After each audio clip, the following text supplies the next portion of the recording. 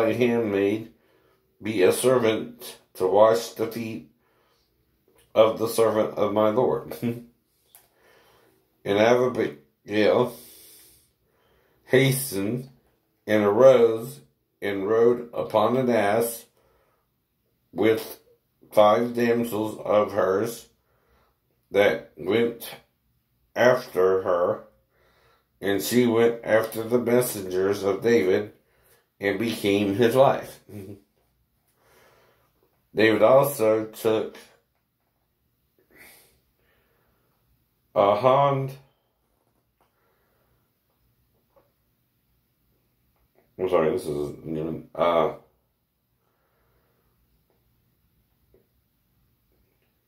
Hino um, uh, Hino um of Jezreel, and they were also both of them his wife, right? So they would pick up two women at a time and start having sex with them, right? Right? They didn't have no real formal ceremony, I guess. But Saul had given Michal, his daughter's David's wife, to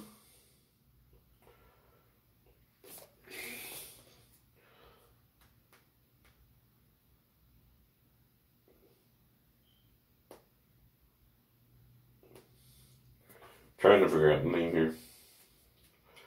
Phi T or Faulty, the son of Aisha,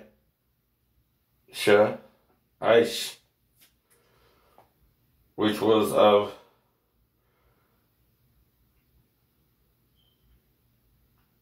Golan or Galen or whatever. Mm-hmm. Now, see, the point here is, though, mm-hmm, right? Mm-hmm. David got two wives for the price of one man's offense. you understand? now, ladies, if you're having problems, okay, don't let your man mm-hmm, be a problem. Find you a man who won't be a problem. I'll just be me, right? But, um, you know, Lenora, Cat, and certain women, I know, might have a problem with an abusive man, right? I don't know. Mm-hmm. I don't judge. But mm-hmm, he wants a baby or something. And maybe that's what was going on with me and Maribel. Mm-hmm.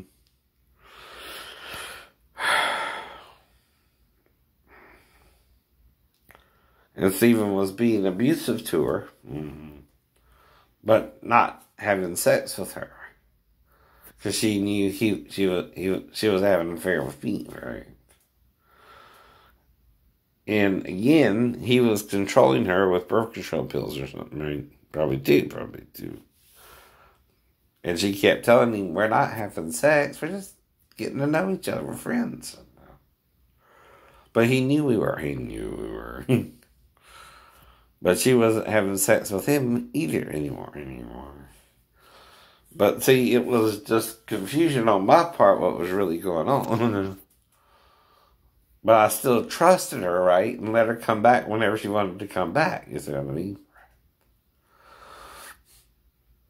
But I kept telling her, "You're you're hiding. You're lying about something, right?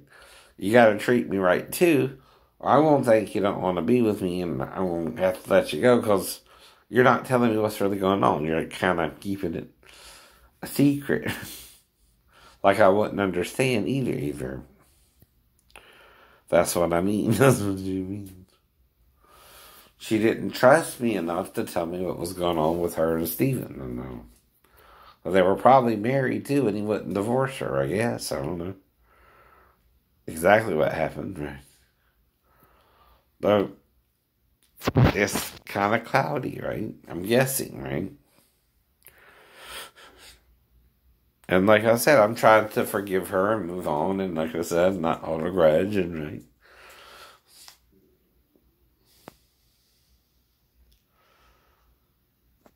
I didn't say nothing. Mm-hmm. And see, I let her go until she called me, and again, maybe she's wanting to come back and can't either because of Scott or whoever else, right? Like I said, right?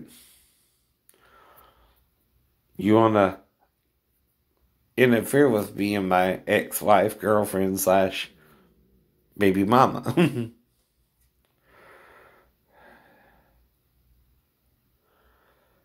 And yet, maybe there's a reason for that too, Maribel. Maybe you're not the only one I'm supposed to be with during this time. I don't know. Maybe it's any abusive woman who has a problem with a man like that. Maybe I'm the one who can handle the situation for me and her. And Jesus will heal me. And uh, at least of the major attacks they're trying to do to me, right? And why is that?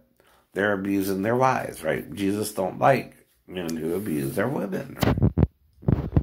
Can he do about it? See, even what's her name? The girl from Poltergeist? She was killed by her boyfriend because suddenly she was thrust into the limelight. Right, Kanye?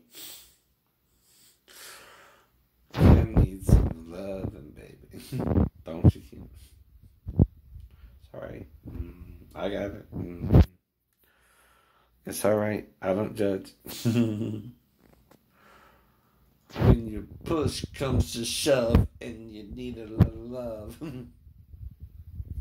Let me put some rock into your love. Call me up, don't be shy. I'm your guy.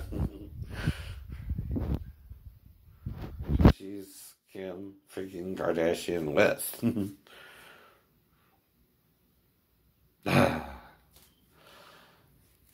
and she passed the test, right? This plane. Have a good day.